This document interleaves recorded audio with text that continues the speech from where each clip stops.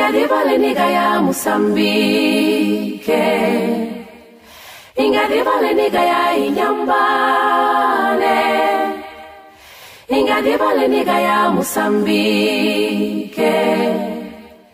ingadivale nigaya inyambane Boa tarde, caro ouvinte. Está no ar mais uma edição do teu programa Magluti. É momento para dizer seja bem-vindo. Temos encontro contigo todas as terças-feiras, das 12h10 às 12h30, como sempre.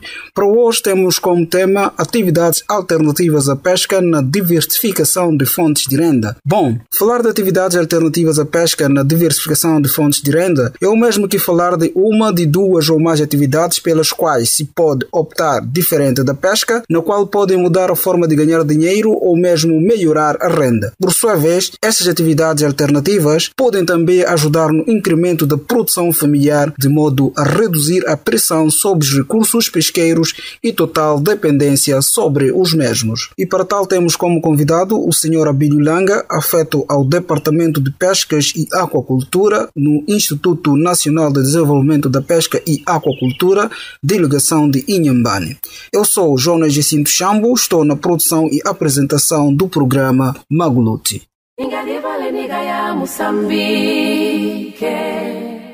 Magluti é um programa de educação ambiental marinho e costeiro da Ocean Revolution Moçambique em parceria com a Rádio Moçambique. Em menos de um quarto de hora abordaremos a temática de hoje: atividades alternativas à pesca na diversificação de fontes de renda. Não saia daí, caro ouvinte.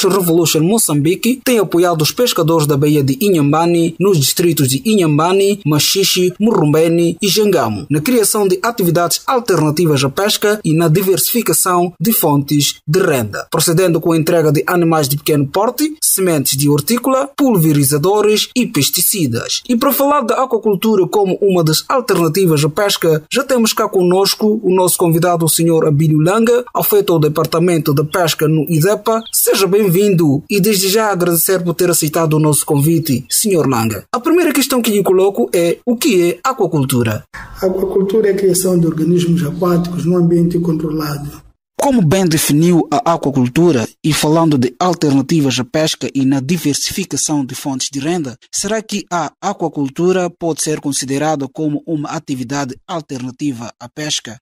Eh, a princípio, sim. A aquacultura, querendo adotar medidas alternativas à pesca, a aquacultura é uma alternativa mais viável.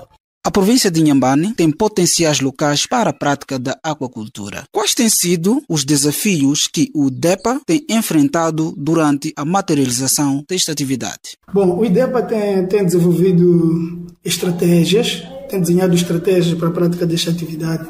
Contudo, ao nível das comunidades, aos nossos piscicultores, encontramos um grande desafio, que é justamente a alocação dos insumos. Estou a falar de ração, estou a falar de alivinos, sendo que estes insumos estão caros. E é preciso que haja uma balança, um equilíbrio sobre a aquisição deste insumo ou sobre o preço que esteja balanceado. É do, é do conhecimento que a província de Inhambane tem uma empresa que produz ração e também produz alivinos mas também a aquisição destes insumos nesta empresa que, que, que, que funciona uh, na província a nível nacional, a ração não está, não está a, a baixo preço. E isto não tem sido tão fácil para que os piscicultores possam, possam adquirir uma vez que estes insumos são, são vendidos em, em sacos selados e, e a, a, cultura que nós desenvolvemos, ou a piscicultura que desenvolvemos a nível da província, é uma piscicultura artesanal na, na, na, na sua maioria. Os nossos piscicultores são de baixa renda,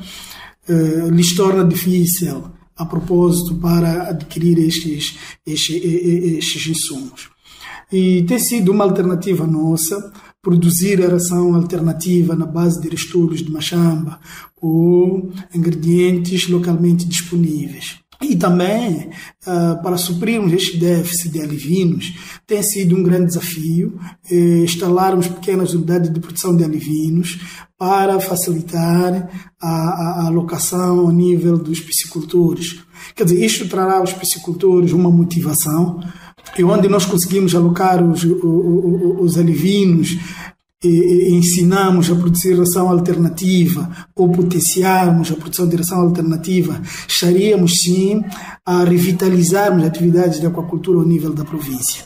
Não saia daí, caro ouvinte, e vamos desde já ouvir a música do Deltino Guerreiro juntamente com o Azagaia com o tema Com Amor se Paga e voltaremos já já para a segunda parte desta entrevista.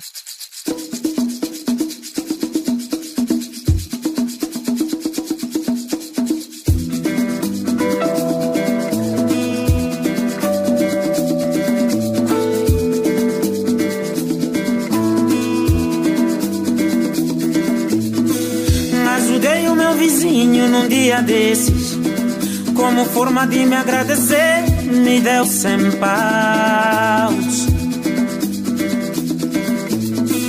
Mas o São Antônio amanecer, o Instagram me deu cinquenta paus.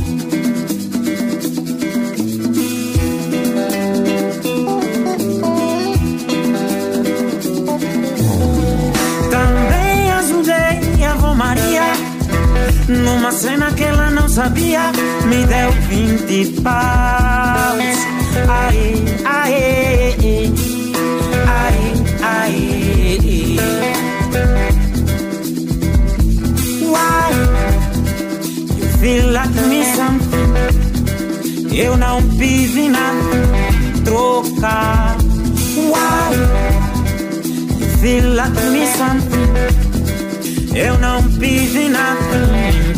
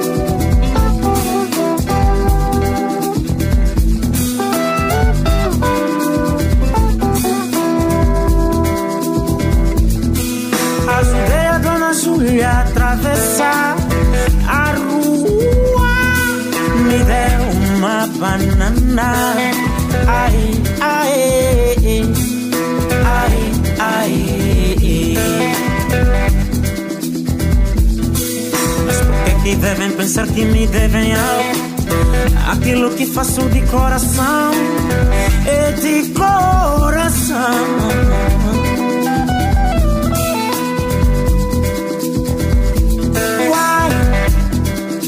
feel like me something. Eu não pedi nada, trocar. Why? You feel like me something. Eu não pedi nada, trocar.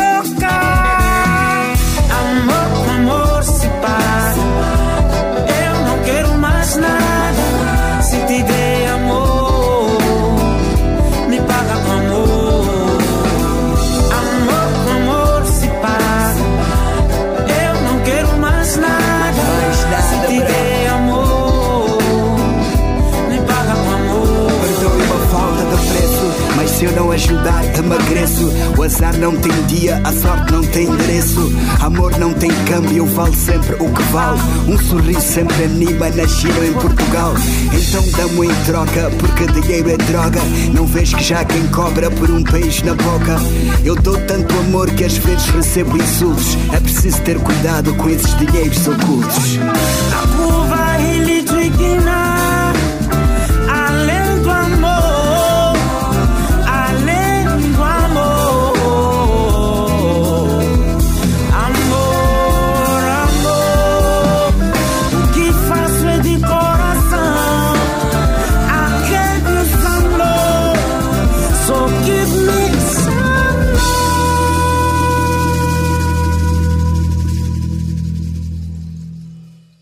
Acabamos de ouvir a música do Deltino Guerreiro juntamente com a Zagaia com o tema Com Amor se Paga, num dia em que estamos a falar de atividades alternativas à pesca na diversificação de fontes de renda. A prática da aquacultura exige um bom investimento. Olhando para a situação financeira dos pescadores, acha viável a prática desta atividade? Eh, são desenhados, como eu já havia dito, estratégias para o desenvolvimento mais eh, com participativa da atividade de piscicultura, onde o governo entra com, com, com os 40% e o pescador ou piscicultor entra com, os, com outra percentagem, são 60%. Uh, de modo a facilitar a aquisição destes insumos. Isto quer dizer o quê? Quer dizer que o piscicultor vai, vai participar em valor e o Estado traz todos os insumos para para, para todo o ciclo de produção. E ao fim, deixa, após a comercialização, o piscicultor eh, faz o desembolso de, de, de, de, de, outro valor. Mas isso estou a dizer o quê? Estou a dizer que o piscicultor não paga todos os 40% de uma vez. Ele vai pagando os 30%. E, e, e, os 10% ele paga após a, a comercialização do, do, do, do, do seu pescado. Qual é a importância da prática da aquacultura para o ecossistema marinho, olhando para a pressão nos recursos marinhos na Baía de Inhambane que se tem vivenciado ultimamente? Uh, sob o ponto de vista também de, de, de, usar a piscicultura como uma medida alternativa, uh, ela vai diminuir a pressão dos mares, vai diminuir a pressão dos rios, a pressão das lagoas em termos da pesca. Uh, mesmo olhando neste período, de, de, de, nos períodos de veda que são colocados os pescadores, uh, uh, para além deles ficarem à espera da abertura, como tal do período de veda, eles podem aderir, a, podem estar a praticar a piscicultura e comercializar os produtos da piscicultura. Então, isto não lhes faria tanta falta em voltar ao mar. E, e, e há vários organismos aquáticos que podem ser criados também não é? Nós estamos a falar só, só, só da tilápia, né, que é a piscicultura, mas também podemos falar da maricultura. Uh, na maricultura nós estamos a falar de mexilhão, quer dizer, a produção de moluscos, né? E estamos a falar também de outros organismos, como, como, como, como a, a garopa, como o vermelhão uh, e outras espécies que, que, que, que, podem ser cultivadas de modo a diminuir a pressão do mar e, e, e permitiriam maior conservação dos, dos ecossistemas. Né? Se nós formos olhar uh, de alguns anos para cá, a, a, nossa Bahia já não tem sido muito rentável em termos de pescado. E se eles aderissem à atividade de piscicultura, seria uma grande valia e, e traria uma rentabilidade no bolso da, da, da, das comunidades. Em jeito mesmo de terminar a nossa conversa, o que tem a deixar ficar para quem deseja desenvolver esta atividade? Uh, bom, é, é, simplesmente dizer que a prática de piscicultura uh, é uma atividade muito rentável, é uma atividade muito rentável eh, e convidar a, os interessados a, a, interagir com, com os CIDAIs, com a Direção Provincial da Agricultura e Pesca, com o Serviço Provincial de Atividade Econômica e com o IDEPA, que é o órgão também que, que executa estas atividades na sua grande amplitude. A, a piscicultura melhora a renda das comunidades, em particular, e vai diminuir o déficit e, e alimentar também no seio das comunidades. É um negócio muito rentável para quem o pratica com dedicação. E são convidados os piscicultores para aderir a esta atividade e vai ser um grande suplemento justamente no momento que eles estão em veda. É simplesmente isto e que quero dizer que o governo está aberto, uh, as instituições que, que, que, que, estão alinhavadas a estas atividades estão abertas justamente para apoiar na realização desta atividade.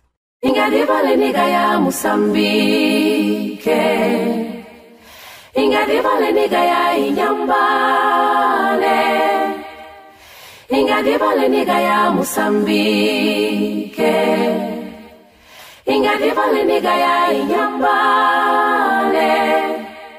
Estivemos em entrevista com o nosso grande convidado, o Sr. Abílio Langa, do Instituto Nacional de Desenvolvimento da Pesca e Aquacultura, delegação de Inhambane, na qual falou da aquacultura como uma atividade alternativa à pesca na diversificação de fontes de renda.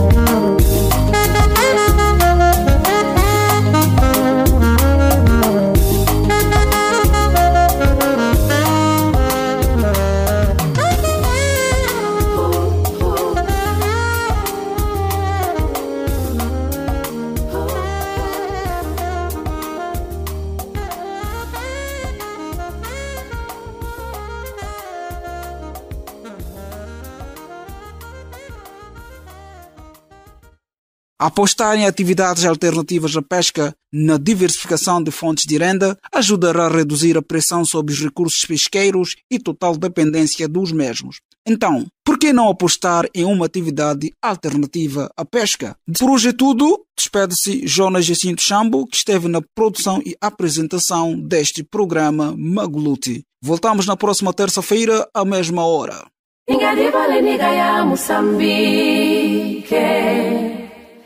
Ingadivale ya inyambane. Ingadivale ya musambike ingadivale ya inyambane